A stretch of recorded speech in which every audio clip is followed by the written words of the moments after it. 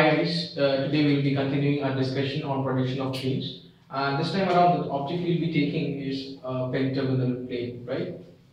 Okay, please note down the question and parallelly we will be noting down the given data also. Okay.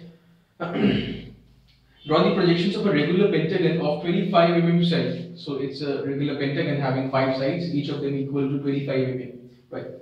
Having its surface inclined at 30 degrees to the HP. So the surface is inclined at an angle of 30 degree to the horizontal plane.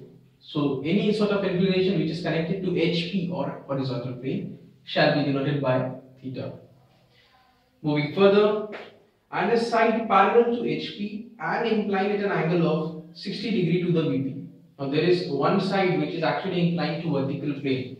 So any sort of inclination which is associated with VP shall be denoted by phi and this edge or you can call it a side also. And this is inclination is having a magnitude of uh, let me check it once again 60 degree with the VP okay.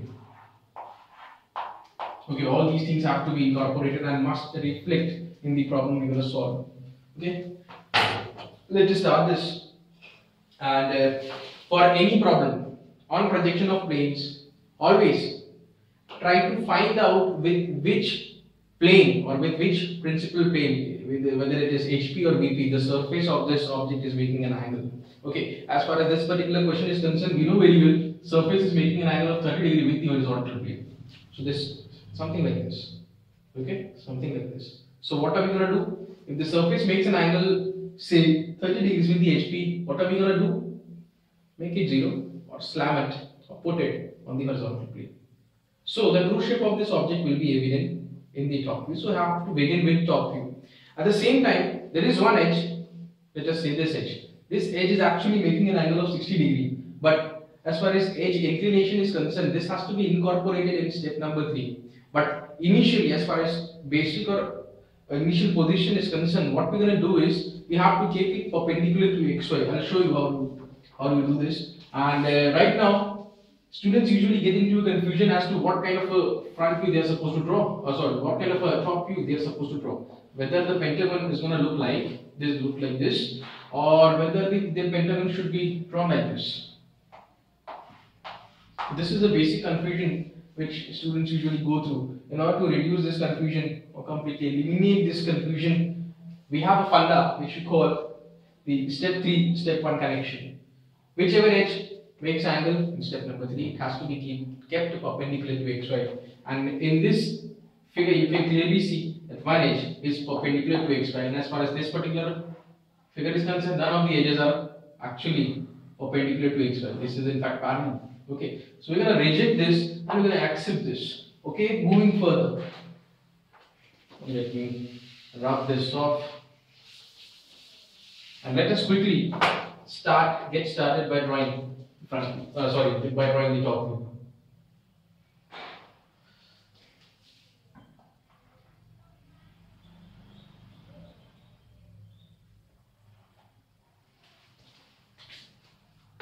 Now, one more thing which uh, all of us have to be aware of.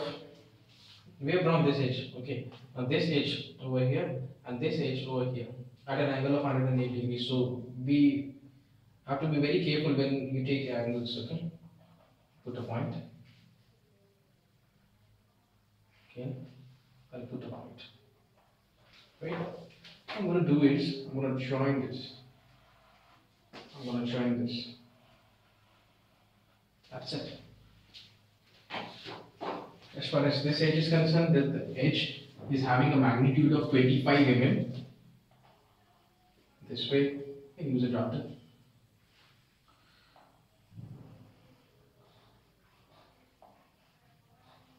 Has to be written at the center and just above this dimension line. Well, the dimensions have to be placed in such a way that it should be bottom read or right read. It should be able to be uh, read the dimensions from the bottom or from the right hand side of your drawing sheet, right? Okay. Uh, now these two lines which are drawn just now, I will ensure that these two lines are also 25 mm each. Here it goes. Here it goes, and the point over here will be 25 mm from both the sides. I'm taking an arm. That's it.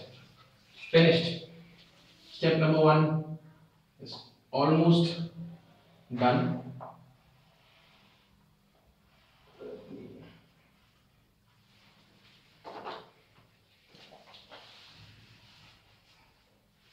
Let us name these five points by A, B, C, D, and E.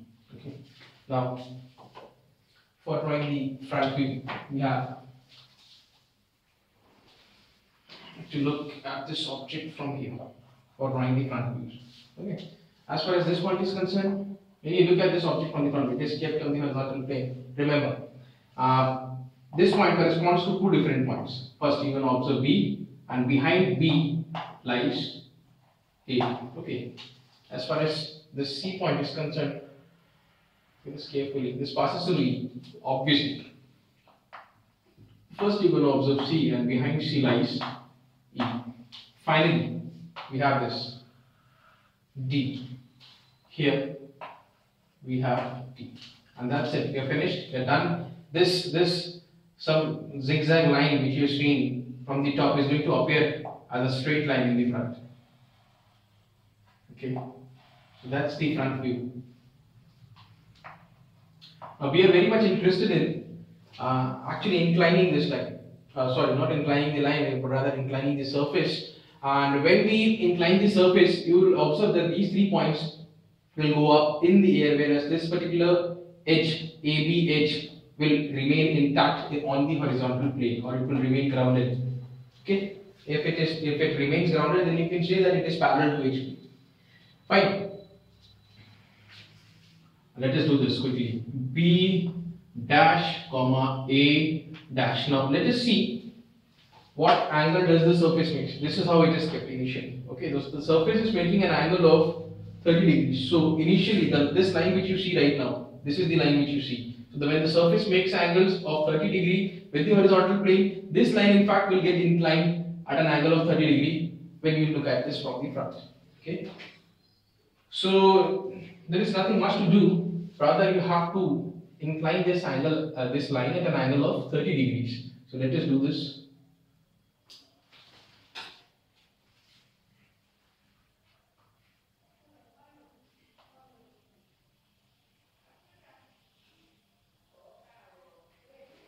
Done. And let us frame some points. D point that's D and now we are on the lookout for point E or C. Here we have it.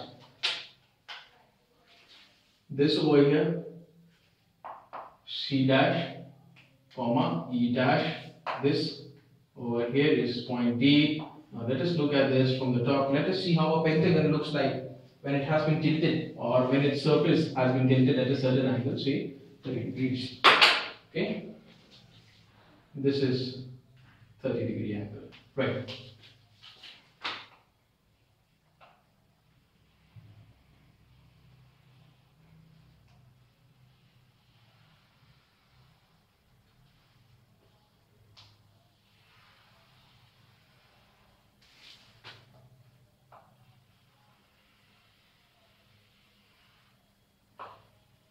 Make sure whenever you draw these lines, you use a mini drafter.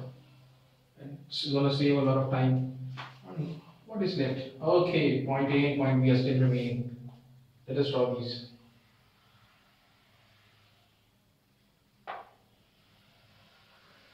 And let us quickly finish this. A, A. So this one is point A. B, B. C, C. Similarly, you can mark D, E. Let us join all these points in proper sequence A, B, A to B, B to C, C to D, D to E, and finally back to A from E. Right? So this is what our pentagon looks like when its surface is actually inclined at an angle of 30 degrees. Now what we're going to do right now, if uh, you see this edge thing, okay, this edge, this edge over here, this is actually at an angle of 90 degrees right now. We actually kept it at an angle of 90 degrees because that's uh, that's a funda, what we call it, right? Uh, this has to be inclined at an angle of 60 degrees. Right now it is at an angle of 90 degrees. We're to rotate this and we're going to ensure that this edge over here is actually inclined at an angle of 60 degrees. And then we again going to draw for the front view accordingly. Let us see. Just put a point. What is the angle? It is 60 degrees, somewhere here, approximately.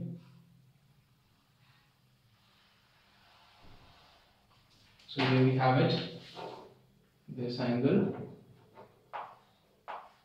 phi, and uh, let us put a point A is here. From A to B, we're gonna put mark this.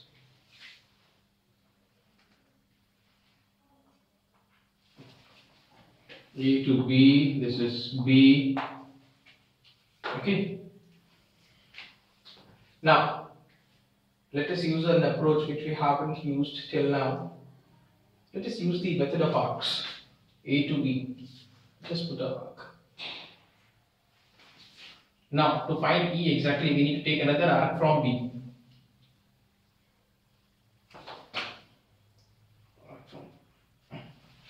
We've got point E. That's exactly where point E will lie. As far as point C is concerned, take another arc from B. From B. To put an arc in order to cut this arc, you have to take another point. The point could be either that point could be E, this point, or either that point could be A. So we are taking an arc from A. From A. Right? So this over here is point C, this over here is point D. There is one more point which is there, that is point D. So point D from C we are taking and from E we are taking arc again in order to intersect this arc previously drawn. So this over here is A, B, C. No, this is not D, this is E, and this one over here is. Okay, fine. Let us join them.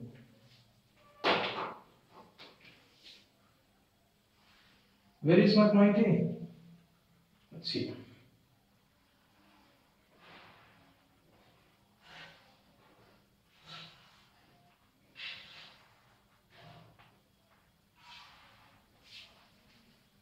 Well, that's it. We have now successfully recreated the top view from step number 2 to step number 3. Now, we're going to look at this object from the front. Us just again draw this arrow. Okay.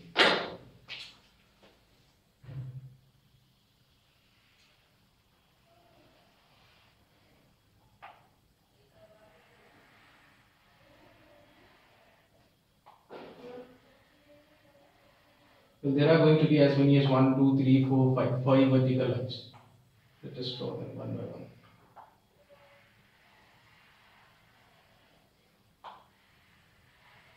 Well, actually, the lines from B and E are very close to each other, and also the lines drawn, vertical lines drawn from C and E are very pretty close to each other. And uh, horizontal lines as well. Well, there is no need to draw a line from here, as it is going to overlap with XY. Hmm. Fine. A dash B. This is going to be B dash. This is C. C. C. C. Dash D. This is D. This is here. D dash. And finally, we have point E. Point E. And that's it. A to E, E to D, D to C, C to B, and B back to A. And then that's exactly what a pentagon is gonna look like when you see this from the front. Let us have a quick recap, right? Initial position, okay? True shape evident from the top, hence we drew the top view first, and then accordingly, this was the line which you saw in the front view. Okay, this was slammed on a uh, horizontal plane, that's why. Surface makes an angle theta. Okay, how much was theta? Uh, it was 30 degrees. Okay, so we drew the front view first, this line first. Okay? And accordingly, there was a top view available to us. This way. This is the true shape of the true area. This is the reduced area, so called. Because, uh, because uh, the more you increase the angle, the lesser the area, right? And then finally, this, this one. This edge right now perpendicular to vertical plane. This edge, this edge, this one perpendicular to xy meaning perpendicular to the vertical plane. Now what we did, did this. We actually changed the inclination of the edge and we made it equal to 60 degree and previously it was 90 degrees and right now what has been done has been inclined at an angle of 60 degrees. So you observe this. This is the front view. This is the. This is something which you observe. So that's it from my side. Thank you and don't forget to hit the subscriber button.